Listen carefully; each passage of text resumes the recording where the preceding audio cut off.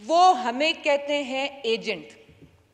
अब तो माशाल्लाह मौलाना इमरान खान बन गए। फतवे भी जारी करते हैं। कहते हैं शिरक है। नाउस बिल्ला। शिरक की डेफिनेशन भी उन्हें पता है। मैं तो आलिम दीन नहीं हूँ जनाब स्पीकर। नाकिस इल्म है मेरा, लेकिन मुझे पता है।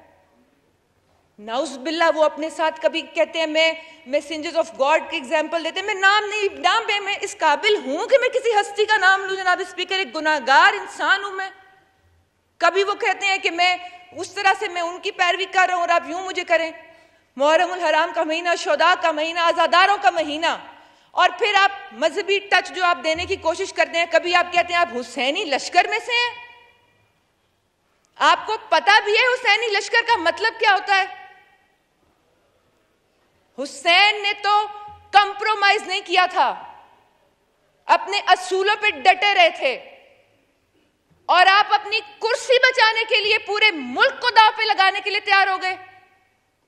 आप जवाब नहीं दे सकते कि आपके गैर मुल्की लोग वाजे है, लिखा हुआ है कवानीन में कि कोई भी गैर मुल्की ये जो ओवरसीज पाकिस्तानी वाला नया ड्रामा इन्होंने अब रचाया जनाब स्पीकर कि उनको गुमराह करें। अगर मेरी आवाज़ उन तक पहुँच रही है, मैं तमाम ओवरसीज पाकिस्तानियों कहना चाहती हूँ, आप हमारी रीढ़ की हड्डी हैं, हमें आपसे प्यारा कोई नहीं है।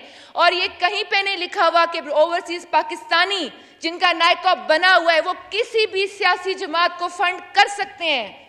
ये वाजे है। नई ममानियत। क्यों गुमराह कर रहे ओवरसीज पाकिस्तानियों का नाम ले लेके लोगों को? क्यों उनकी फंडिंग से रोका जा रहा है? हम उनकी बात नहीं कर रहे। हम तो इंडियंस की बात कर रहे हैं इसराइलीज की बात कर रहे हैं अमेरिकन की बात कर रहे हैं यूएई की बात कर रहे हैं। सी पैक वालों से किसको मसला है? नहीं पता जनाब स्पीकर किसी को। अमेरिका अमेरिका बना रहे हैं, मुँह से जुर्रत है कि खड़े होकर ये कह दे अमेरिका मुर्दाबाद। नहीं कहेंगे। गुलामी ना मंजूर की जो आप चाहते हैं कि आपके गुलाम बन जाए तो वो मंजूर। और बाकी सब गलत। आप इतने सच्चे हो गए। मैं यहाँ बात करी थी अदलिया की। जनाब स्पीकर, नबी आखिर वसल्लम, हमारी जान, माल, औलाद माँ बाप सब कुछ उन पर कुर्बान।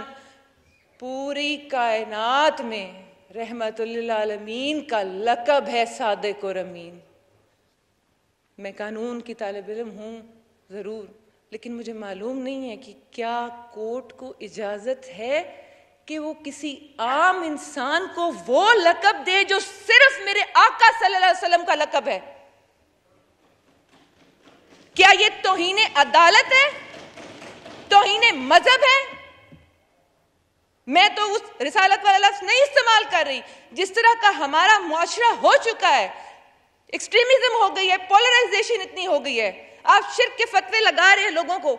यहाँ लोग एक दूसरे को कत्ल कर रहे हैं और कर देते हैं, बगैर वजह जाने बूझे।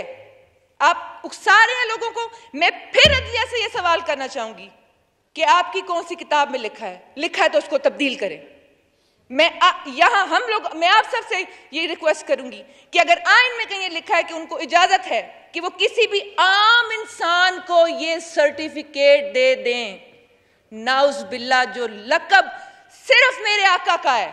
मोहम्मद सादिक और मोहम्मद अमीन नाम रखने से कोई सादिक अमीन नहीं बन जाता, जनाब स्पीकर। मेरी समझ से बाला तर है कि आका सल्लम का लकब किसी आम इंसान को कोई दे कैसे सकता है?